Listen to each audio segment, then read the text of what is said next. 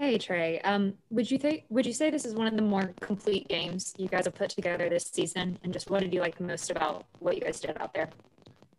Uh, I would say it's definitely up there uh, with one of them. I mean, just the way we played from beginning to end, and um, just really followed the game plan. And uh, I mean, just really everybody contributed, and um, I think that's the best thing is that everybody really got a good feel and uh, going on this, this, this road trip is gonna I mean help us help us.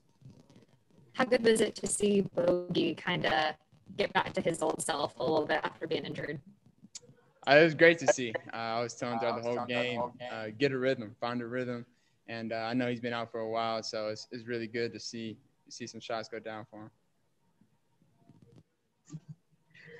Andrew Lopez from ESPN.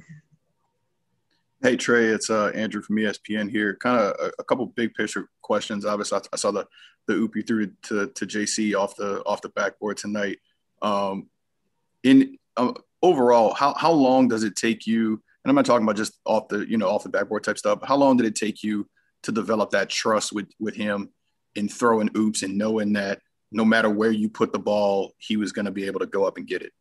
Uh, I think it took the Utah Summer League for me to really uh, find that out. Uh, when we got to Vegas in that summer league, my, my rookie year, uh, we just had a connection and just on the court, pick and rolls. Um, I mean, he's developed into an even better uh, three point shooter since then. And uh, I mean, I mean, it's, it's just fun and the connection we had.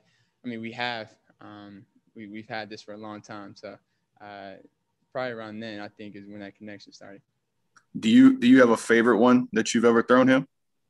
Um, actually, my first my first preseason rookie. I mean, my first preseason game. I think we played the Pelicans, and I threw a uh, a lob off the backboard, and he he caught it over Julius Randle when he was uh, in New Orleans. Uh, I think that was that was probably my favorite pass I've thrown so far. All right, thanks. Jamila Johnson. Hey Trae, congrats on the win. Uh, um, uh, so what has it been like to see Nathan Knight kind of shine out there? Uh, it's, it's awesome to see. Uh, it's awesome to see because, I mean, you see the, the work he puts in and how hard he, he goes in practice. Um, I mean, just how how much he cares about the team and how much he cares about just winning. And uh, so when he gets his opportunity and he he's been doing what he's been doing, it's, it's great to see. So I'm I'm happy for him and uh, I don't want him to stop right now and just want to keep going. Christos. Hello, Trae. Congratulations on the win. It was the seventh straight win for your team. It was it is the the longest activate winning streak right now in the NBA. How is that feeling for you? Uh, feels great. I mean, anytime you're winning, uh, I mean everything else feels good. Um, so for me, I'm all I care about is winning, and we're doing that right now. And um, I mean, nothing can be better. And also about you, you're starting pretty well the game. You sat on the bench in the fourth, the whole fourth quarter. How was that uh, to see the whole game, the whole fourth quarter from the bench, and uh, how important is to carry on from that momentum tonight? Yeah, I mean, for me, I mean, just being able to have that that rest, um, knowing our, our tough schedule coming up, playing basically every other day and some back to backs uh, being able to have that fourth quarter rest was, was good. And um, obviously, get my, my knee to be able to, I mean, heal a little bit more and um, get ready for the, the West Coast trip. And the guys that were out there late in that third and to end the game really just took care of business. And um, it, was, it was like that. Rashad Milligan. Hey Trae, uh, a bit of a couple different questions here. Um, my first one, you're probably the most famous person from Norman, Oklahoma. Um, of course, a couple weeks ago, you kind of posted, alluded to earlier, that the Norman girls basketball team and what they were doing. Um, I just wanted to know your thoughts on that, uh, of what happened over there. Yeah, uh, I mean that's just a a really really sad sad situation. I mean that's I mean a commentator for him to I mean, I, I mean, that, it, really frustrates me now just thinking about it. Um, I mean, just knowing those girls, uh, that the coaches, uh, they, they coach my AAU teams on the girls side. some of those girls playing my AAU teams. Um, so I mean, it, it, definitely hit me a little bit different, a, li- a little bit more, um, maybe than than some others, just because I have connections with them, and uh, it, it, really really frustrates me uh, just knowing uh, that someone like him had that job and had a had a had a voice, and uh, to be able to speak into a microphone and that's how you feel. Um, it's, it's, it's sad, but it's it's this world, and um, I mean, we just, we got to be better as people, as as individuals, and um, I think that's just that's really sad. And I'm, I'm, I'm, proud of the, the Norman High girls that for what they're doing and what they did, um, and then go out there and get a get a championship. Um, two days later, uh, really rubbed it in the, his face. And uh, a follow up to that, have you or your family members ever experienced any type of prejudice or, or racism, anything like that in the Norman area growing up? Um, I mean, from a distance, from a distance, um, maybe in, in games, I remember a couple times um, being on road games in high school. I think I got. A couple fans got ejected for saying some certain things, and um, just something that I grew up and just just knowing. Uh, I mean, I was taught a lot about it growing up, and so uh, it's definitely something that I mean happened to me a couple times in high school. Um, but yeah.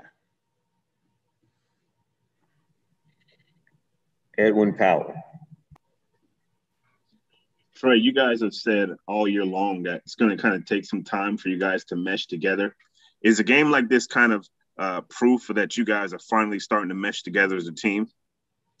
Uh, I think so. I think so. With the, the way we're hitting each other on, on passes, obviously we had, I mean, a lot of turnovers in that first half, but I mean the way we're moving and, and guys are, are are seeing each other. Uh, it's it's uh, definitely the connection is growing. I mean, um, we still still can get better, but I mean it, it's definitely getting there, and it's it's definitely clicking at the right time. Got three more. First from Deshaun Tate. Trae, congratulations on the win. Um, let me ask you this: It's it's that time of the year again, and, and, and it being March Madness, and obviously your Sooners got a big game coming up against Missouri. Uh, how much of them have you had a chance to watch this year, and have you had any conversation with them leading up to the NCAA tournament? Yeah, I mean, um, I, have been keeping up with OU all year. Uh, um, obviously, with Coach Howard, what he's doing with Michigan, did a great job. Uh, he may win Coach of the Year, but I definitely think Coach Kruger is up in the should have been up in the uh, or should be in the, the conversation uh, with what he's doing with that team. And um, I mean, I've been keeping up. I got them, got him. I got a couple brackets. I got a biased one and an unbiased one. Uh, hope, hopefully they can uh, get past Missouri and then uh, I mean, go up against Gonzaga and uh, and still in one. So it's gonna be fun. I'm, I'm pulling for him. Uh, I haven't I haven't talked to him a lot of the players uh, recently, obviously, but they're uh, I'm I'm gonna be watching from afar. Two more. First from Sarah.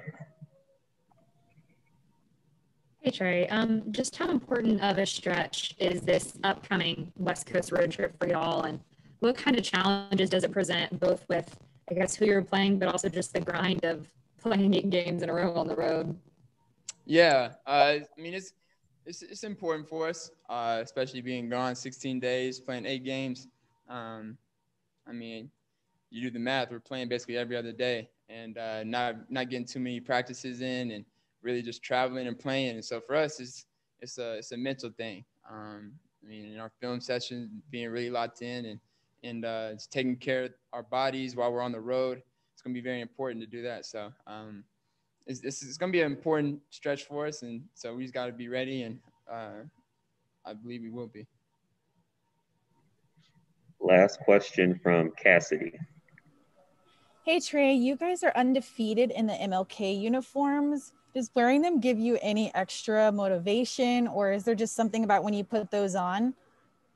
Yeah, I mean, we, we ain't lost in them yet. So it's uh it's definitely working for us. And three letters on our chests is um they, they mean something to us. And so uh I don't know if it's, it's a coincidence or, or, or what, but I mean, we ain't lost in them yet. Thank you, Trae.